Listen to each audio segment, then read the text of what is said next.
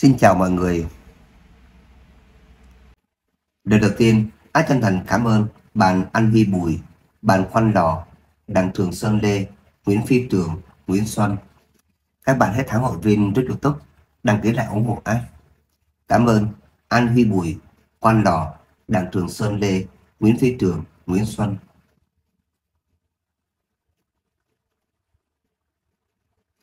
Trinh bệnh Đế Tiên, Diệp Đá Hậu, 1158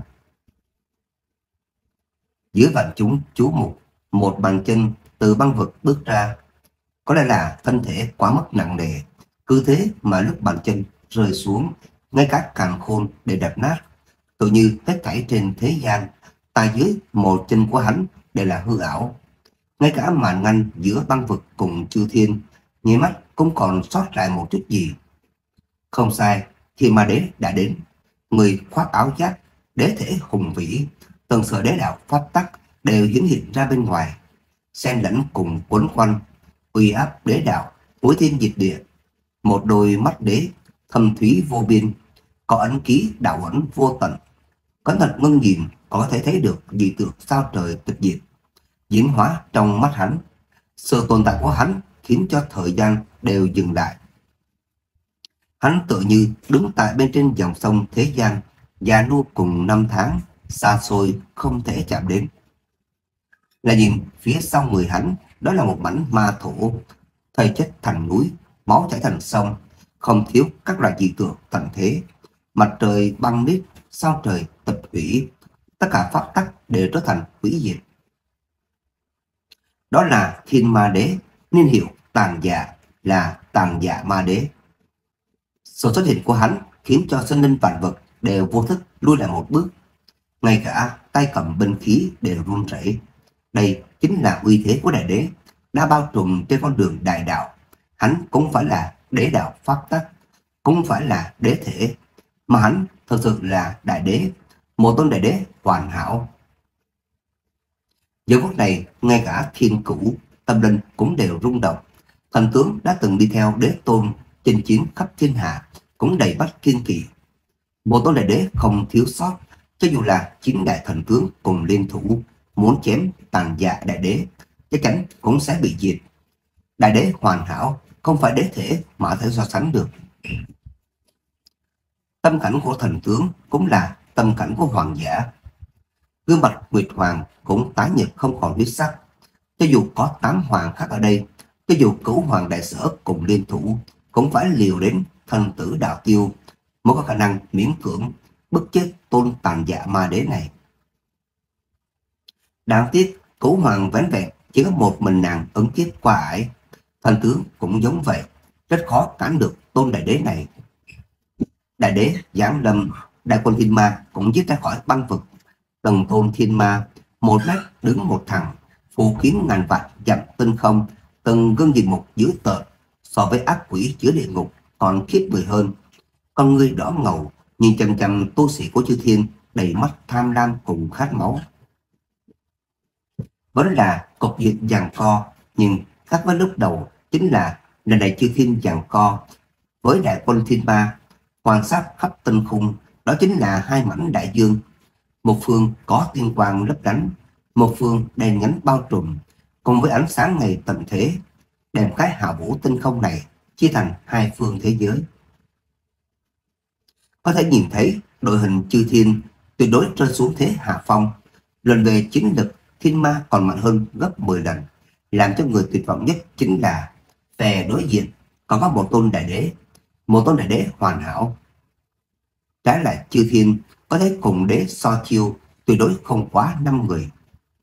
Máu tươi thật mỹ diệu, tàn dạ ma đế mở miệng, mắt đế khiếp lại, hài lòng ngửi ngửi khí tức chư thiên, một câu cho dù bình thản của đại đế, đại như vạn cổ lôi đình, có thể rung sập màn cổ tinh không kia. Hắn đúng là chúa tể vạn vật, quan sát vạn vật thương sinh, dưới đạo của đế đều là sâu kiến. Đại đế vô thượng lại cũng lén lút như vậy sao? Đông Tử Tâm hừ lạnh. Thực sự là không thú vị chút nào. Tàn dạ ma đế u cười, nằm nghiêng tại bên trên vương tọa băng lãnh, bể nghệ nhìn xuống chư thiên. Hắn là đại đế, có tư cách bậc này. Thế nhân ngước nhìn chính là uy nghiêm của đại đế. Đối với lời nói của Đông hòa Thái Tâm, hắn phớt lờ không thèm quan tâm. Chỉ ngang ngược, liếc nhìn hư vô, giống như có thể nhìn xuyên hai giới, giới người và minh giới. Nhìn thấy đế hoang cùng minh đế, còn giống như có thể nhìn xuyên thiên giới, trông thấy đạo tổ. Vô luận là đế hoang, minh đế, có một là đã tổ hồng quân đều không nói gì. Bây giờ tàn dạ ma đế hoàn toàn chính xác so với thiên ma đế năm đó càng đáng sợ hơn, Không giống như biết được càng nhiều bí mật hơn. Biết bọn họ có chút kiên kỳ, không dám ngông cuồng đánh xuyên qua màn tránh chư thiên. Nhìn xuyên qua thiên giới cùng minh giới, tàn dạ ma đế cười u tàn, hơi vẽ lên khóe miệng, chính là sự khiêu khích trần trụi. Hai tôn đại đế, cộng thêm một tôn thánh thể đại thành, thì tính sao chứ? Cuối cùng cũng là không cứu được chư thiên. Đế hoàng kim quyền siết chặt, mình đế có hành mang chợt hiện, đà tổ cũng sát cơ bất người, nhưng tam đại chí tôn cuối cùng là chưa dám đánh phá màn ngăn. Nếu không, chư thiên phải đối mặt chính là toàn bộ thiên ma vực.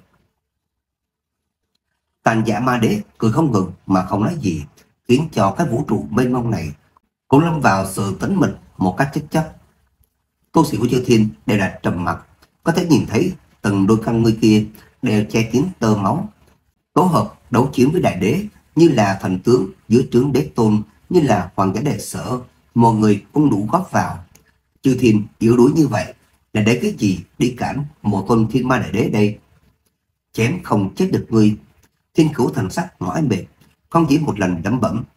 Tàn giả ma đế bây giờ so với thiên ma đế xâm đến đại sở năm đó càng đáng sợ hơn. Vượt xa không phải là thiên ma đạo thể mà thể so sánh. Lấy đội hình lúc này của chư thiên tôi đối khó ngăn cản. Chỉ vì thiếu thốn cường giả cấp đỉnh phong, thần tướng cho dù cường đại cũng cần có người phù trợ. Hoàng giả cho dù bá đạo cũng cần có người giúp đỡ à. Đáng tiếc bây giờ chư thiên chính là vào lúc suy yếu, có thể cùng đại đế so chiêu, có thật không có mấy người.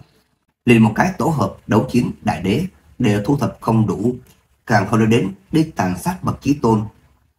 Nguyệt Hoàng cũng như thế, gương mặt tái nhợt, nữ vương cái thế, đã trước mặt đại đế, u ám không còn ánh sáng. Cho dù cửu hoàng ở đây, cũng khó diệt được tàn dạ ma đế. Đại đế không thiếu sót, quá mức đáng sợ. Cầu xin huynh mau trở lại. Đông Hoàng Tâm lẩm bẩm, nàng ở góc này bớt đi mấy phần uy thế của thần nữ, lại nhiều thêm mấy phần yếu đuối của nữ tử. Kỳ vọng kiếm thần trở về, giúp hết sức cầu khẩn. Mỗi giấc mắt này, thần tướng cũng đang kêu gọi, hoàng giả cũng đang kêu gọi, hoặc là nói toàn bộ chư thiên vạn vực đều đang kêu gọi, kêu gọi chúng chuẩn đế đỉnh phong, nguyện cho bọn hắn để có thể nghịch thiên, song thoát ách nạn, lên đỡ cứu vớt thương sinh. Chư thiên cảnh hoang tàn khắp nơi đã không chịu nổi chiến hỏa của thiên ma. Đáng tiếc, thế nhân kêu gọi, không có lời đáp ứng. tôi tin trong mắt bọn họ đã trở nên vô cùng u ám, nhưng không thấy mảy may chút ánh sáng nào. Dường như giờ tiếp theo chính là hủy diệt. Nỗi lòng tuyệt vọng, bao phủ nội tâm thương sinh. Tấm màn đen tận thế cũng đã bao phủ con đường phía trước. Còn có hy vọng gì không? Cơ tử băng khẽ nói, một lời nói này là nói với Diệp đào Chí vận của chư thiên, trường tồn cùng hạo nhiên dưới cái Hào một câu âm vang, từ đầu đến cuối ánh mắt đều kinh định.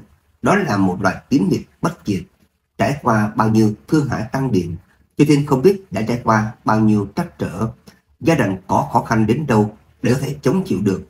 Thì lần này cũng giống như vậy. Huống hồ Chư Thiên cũng không phải là không có chút hy vọng nào. Anh còn có hy vọng thì vạn vật thương sinh cũng còn có cơ hội. Trong tuyệt vọng có một tia hy vọng sẽ là một đốm lửa nhỏ kích phát ra khả năng vô tận.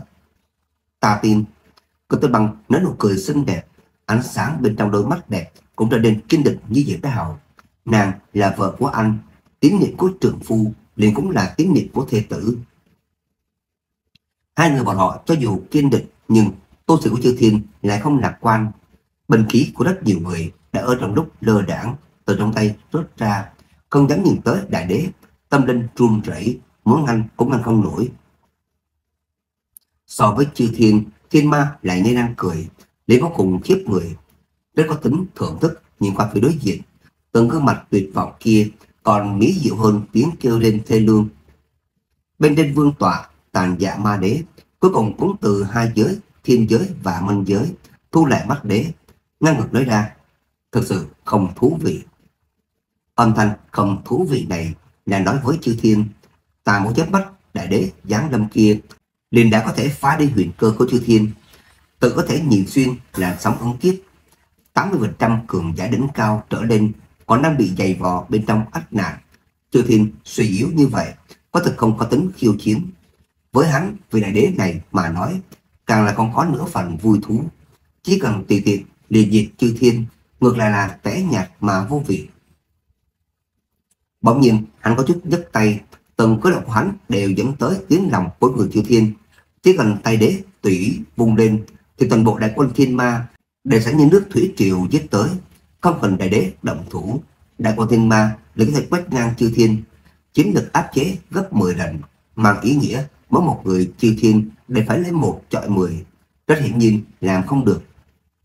Ánh mắt binh sĩ thiên ma đã lộ ra hung quang, liếm láp đầu lưỡi đỏ chét.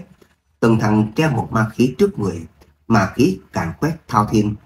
Từng cây chiến mâu kia cũng đã lấp lóe ma quang, chỉ đợi đại lễ ra địch. Tu sĩ của chư thiên cũng tập thể nắm chặt binh khí, khí thế tăng lên muốn chống lại lần cuối cùng. Thế nhưng tàn dạ ma đế nâng tay lên tuyệt không rơi xuống, dừng ở giữa không trung, chỉ có hai mắt đế kiếp lại, cách thư vô, nhìn nhìn diệt Hào. Hắn là đại đế, như thế nào lại không gửi ra được trong cơ thể diệt Hào có sát khí đại đế. Công chính là nói, đại thánh nhỏ nhỏ kia đã từng đồ sát qua đại đế, vẫn là thiên mà đế bọn hắn, mà làm cho hắn kinh ngạc nhất chính là lấy tầm mắt của hắn đúng là không thể nhìn thấu được Diệp Hào. Có một cổ lực lượng thần bí che lấp hắn nhìn lén, khó phá được bí mật của Diệp Hào. Điều này khiến cho hắn đối với Diệp Hào có hứng thú nồng hậu. Mà cũng chính vì thế hắn ngay cả hạ lệnh công kích để không nhớ. Đế cũng tò mò đến tận cùng là vì nguyên nhân bực nào lại để một tôn thiên ma đế mất mạng tại trong tay một con kiến hôi. sau kiến kia lại đạt đồ sát thiên ma đế như thế nào chứ? Bị đại đế nhìn chằm chằm dễ nào toàn thân băng lãnh, tự như rơi vào vực sâu, như vẫn thế không được siêu sinh. Lại còn có một tôn thánh thể, tám đạo đại luân hồi, quá thật là thú vị. Tàn dạ ma đế cười đầy ma quỷ, vươn ra tay đế, từ phiêu miểu xa xôi, chụp về phía Diệp thảo, tài đế bao trùm càng khôn, tiềm ẩn đế uy, đem tinh phong kia đề phong cấm đóng băng tại chỗ, phát tắc để trở thành hư ảo. Diệp Hào thần sắc ngưng trọng, để kiếm trong tay ông độc, giá trị đế đạo phát tắc. Anh cho dù phá giam cầm, nhưng tài đế vươn tới kia để chứ từng dừng lại. Năng thiên bao trùm, tinh không từng khóc sụp đổ. Liên minh có tu sĩ bị ép diệt thành xương máu. Còn có đế binh bảo hộ, ai có thể ngăn cản được uy áp của đế chứ? Lần này, cho dù là Diệp Đế Hào cũng bị ép tới hai chân quỵ xuống. Nếu không phải có đế kiếm chống đỡ thì sớm đã tán diệt Đông Thợ Tâm hừ lạnh, đã đặt công trung mà đến, lòng bàn tay diễn hóa ra thành thông đế đạo. Muốn thay Diệp Hào ngăn lại một chưởng kia, thần tướng thiên cửu cùng Nguyệt Hoàng cũng không phân tuần tự để thi triển tiên pháp đế đạo. Thế nhưng có một người còn nhanh hơn bọn họ, chính là vì diệt chi tử, bước lên một bước, vượt ngang hư vô, lấy tiên pháp nghịch thiên, vạch ra một đạo tiên hà ông ánh, là chân chính trảm đuôi thay đế. Cũng vì thế mà hắn cũng bị phản chấn, kịch liệt ho ra máu. Bản thân hắn lúc đầu đi đã chịu trọng thương, chiến lực giảm bớt đi rất nhiều. Có thể ngành kháng một chữ của đế đã là nghịch thiên, thân là cực tình cái thế. Sao không biết tầm quan trọng của Diệp Hào? Thánh thể nhất mạch là người cứu thế, ai cũng có thể chết, duy chỉ có hắn là không thể chết. Một tuần thánh thể, theo một ý nghĩa nào đó, đủ có thể thay đổi chiến cuộc. Mấy lần trước, thiên ma xâm đánh chính là minh chứng sắt đá thánh thể Diệp Hào thực sự có thành lực ngăn cơn sóng dữ. Tàn dạ ba đế cười lạnh, không chút nào tức giận, chỉ tủy phát tay cười u tàn nó ra, bắt sống. Hắn vừa ra lệnh, đại quân thiên ba nhất thời chuyển động, bóng người đen nghiền nghịt như đại dương mênh mông đã thẳng tới tu sĩ của chư thiên. Sương mù cuồn cuộn bao phủ từng mảnh tinh không, từng đôi mắt kia để hiện ra ánh sáng xanh lè. đã xem nhân tu của chư thiên coi là con mồi, muốn thuần tính tiêu diệt toàn bộ. Tinh thần của bọn hắn không cao ngạo một cách bình thường, chỉ vì có đại đế tỏa trấn, đây chính là tư cách để cao ngạo. Trái lại chư thiên, Chị ý liền cực kỳ xa suốt, nhưng không thấy một tia hy vọng. Ánh mắt của rất nhiều người đều là ám đạm. Thiên ma có đại đế, mà chư thiên không có, lấy cái gì đi đánh đây? Thảm nhất chẳng qua chỉ là chết, chiến. Quỷ ngưu gầm lên là người đầu tiên giết ra, mang theo chính phủ đế binh, gia trì chiến lực, công kích tới. Bân sĩ thiên ma ở phía trước, nháy mắt bị hắn càng quét một mảnh lớn. Chiến! Tiếng vân hoàng gào thét theo sát quỷ ngu. Người bình thường không đáng tin cậy, cứ đùa nghịch không cần mặt mũi. Nhưng nếu đánh thật, vẫn là rất cương liệt mà nói. Nó được cái gì chứ? Hậu duệ của đấu chiến thánh hoàng. Làm sao lại sợ thằng nào chứ? Không giết cho đủ vũ liếng để không còn mặt mũi đi gặp Lã Tô Tông Thánh Hoàng. Chiến! Con trai đại đế chư thiên hét lớn để dung nhập với đế binh, công kích về hướng thiên ma. Truyền thừa đế đạo đều gánh vác lấy vinh quang của bậc cha chú. Cho dù chiến tử không thể nào bôi nhọ uy danh đại đế. Truyền thừa đế đạo công kích tới là khiến chiến ý của chư thiên bùng cháy lên. Máu tươi đang yên lặng, tức thời liền sôi trào. Rất nhiều người nhặt lên binh khí, liền tiếp không ngừng nhào về phía thiên ma. Quỳ ngu nó không sai, thảm nhất chẳng qua chỉ là chết. Không thể nào chết vô ích. Trước khi đi, phải kéo thiên ma làm tấm đệm lưng chôn cùng. Quan sát tinh không, hai mảnh đại dương nháy mắt nhập làm một. Tức thời, máu tươi thay nhau tuôn rơi. Vô luận là đại quân thiên ma, cũng là tu sĩ của chư thiên, đã lên minh hóa thành xương máu. Nhưng mạng lúc này coi như cỏ rác, từng sinh linh hầm hực nhựa sống, trở nên vô cùng rẻ mạt, xương máu cuồn cuộn, che khuất hạ vũ tinh không. Bắt sống thắng thể, bên trong từng tiếng la giết, thì tiếng gào thét bực này là vang dội nhất. Từng mảnh từng mảnh binh sĩ thiên ma, thiên tướng tuôn về hướng diệt đá hào. Đây chính là mệnh lệnh của đại đế. Việc này phải làm tốt. Đại đế còn nói tại đằng sau nhìn xem. Cơ hội lập công thật tốt như thế, cũng thế nào bị người khác cướp đi. Bắt em gái người. Dễ đào mắng to, có mình nó hung mảnh mà nói. Một kiếm càng quét một mảnh. Trấn áp cho ta. Một tôn thiên ma giết tới, thôi động một tôn ma ấn, lăng thiên đè xuống.